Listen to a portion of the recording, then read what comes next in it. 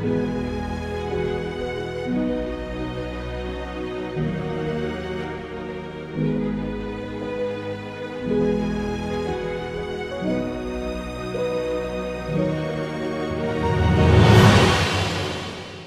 Erwan from Motion VFX. I'm really excited to present you our most popular M-Title pack, M-Title Cinematic, and now it is available for DaVinci Resolve on Mac and PC. M-Title Cinematic is a pack of 50 cinematic captions that will add stunning title animations to your projects. Let's see how it is fast and simple to add and customize high-end movie typographies in DaVinci Resolve. M-Title Cinematic is fully optimized for the edit page, where you will have access to all the features. Here you can see my project with only the footage and some transitions. Let's add some great titles. Once you've purchased and installed your pack, you will find the titles in the FX library in the title section. All the M-Title cinematic element will be in the Fusion list.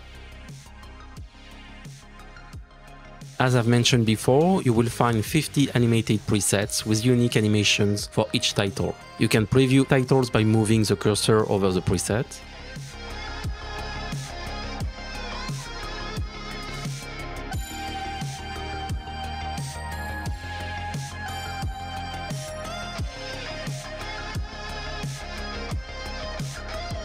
If you like one, on the right you can click on the star to add the title as favorite.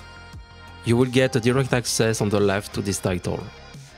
To add a title to your project, you just have to drag and drop it inside your timeline from the list or from the favorite section.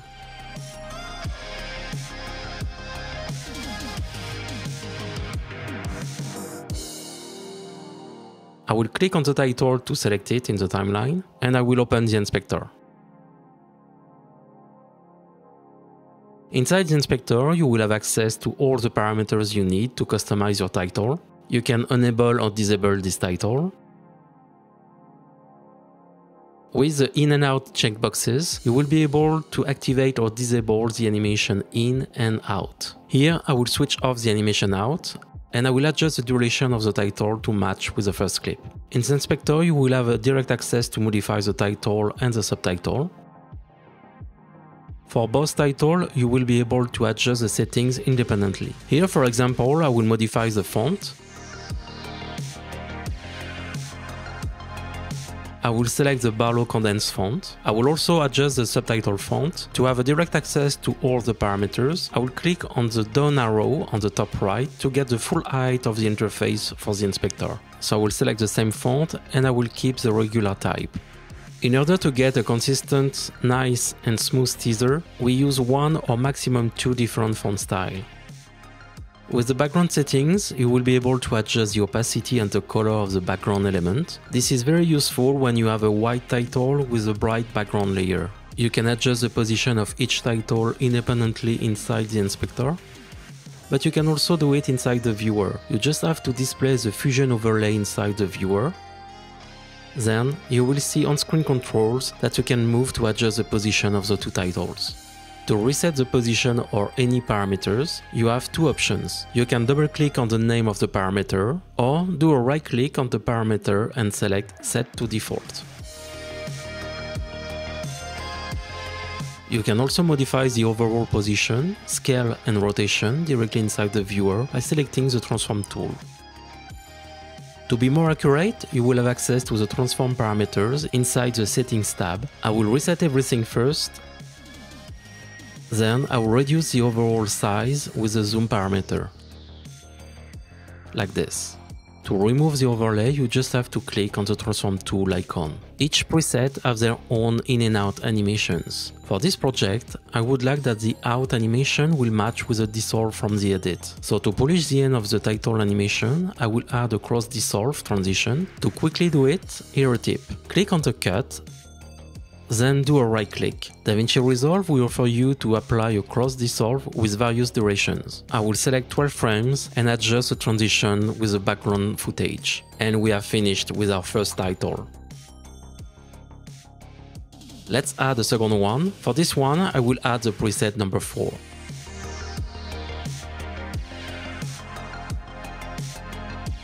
I will adjust the duration and this title will make the link between the two clips below. In the inspector I will modify the two text. I will reduce the size and set the value to 0.6.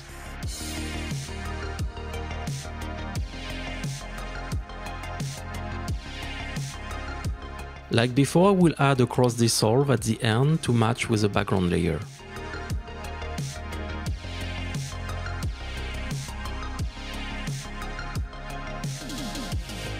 For the subtitle, I will select the preset 30 as this one will teach us important informations.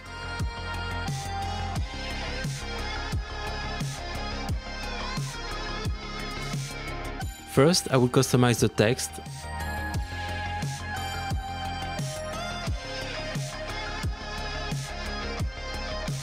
Then I will reduce the global size and the position.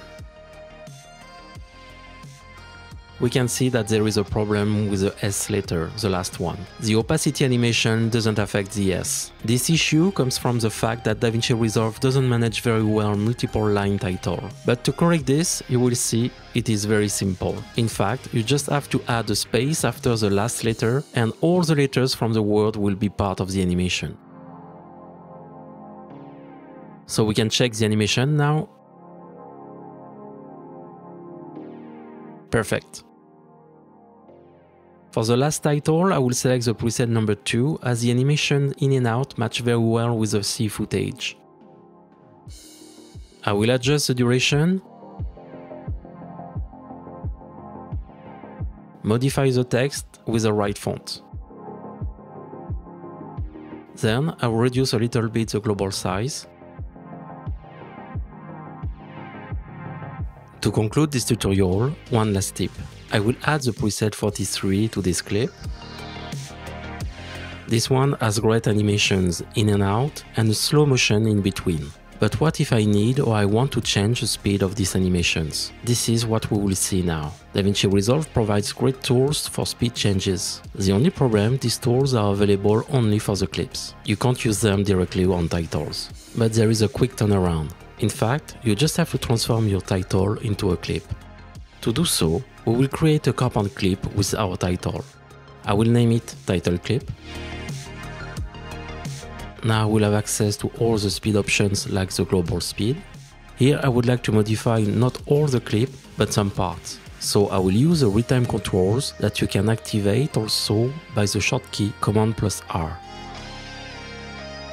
We are now in the speed change mode we can see the blue arrows and below we have the 100%. That indicates that we are at normal speed. There is a little down arrow on the right of the 100% that will give us access to some options. The first one is add speed point. A speed point is like a virtual cut that will affect only the speed. We can see that now we have two parts with two speed controls. So for example, I can ask to modify the speed on the first part. I will double it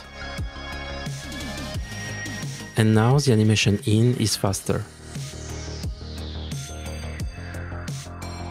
If we want to change the speed between the animation in and out, we will need to add a second speed point just before the animation out. Now we have three parts, so we can accelerate the animation in the middle to 800%,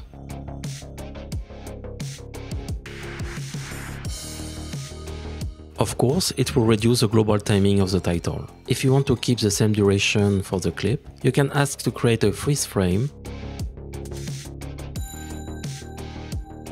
and then adjust the right duration to the title.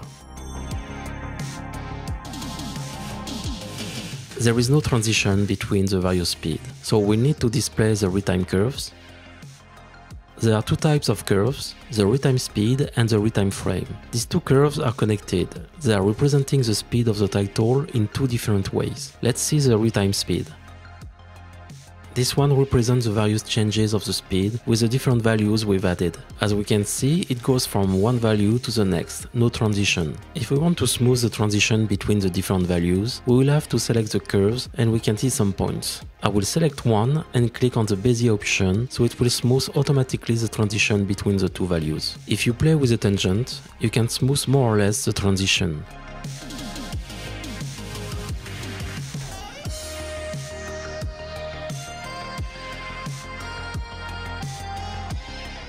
The retime frame curve represents also the acceleration inside the title. Higher the gradient of the slope is, faster is the animation. If you hide all this information, there is a little speed icon to tell you that your title gets some speed animation. With Command plus R, you can display it at any time. Okay, let's go back to our project. I will unmute the audio track and we are ready to export our project. As you just seen, M-Title Cinematic is a perfect solution to raise the quality of your production, and at the same time, easy to use and fully customizable. M-Title Cinematic Pack is now available for DaVinci Resolve, and to get more information about it, I invite you to visit motionvfx.com. Thanks for watching, ciao ciao, bye bye.